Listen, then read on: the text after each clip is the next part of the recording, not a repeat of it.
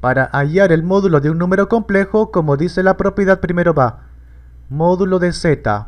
Ahora, dentro de la raíz cuadrada viene primero a, que es la parte real elevada al cuadrado, el que, está, separado del i, en este caso menos 5. Y como tiene menos, por eso va con paréntesis.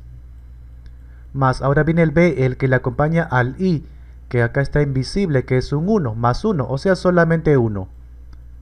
Ahora, dentro del paréntesis, acá tenemos menos 5 al cuadrado, que es 25, 1 al cuadrado, que es 1, 25 más 1, 26. Y como la raíz cuadrada de 26 no es un número exacto, se queda con su raíz.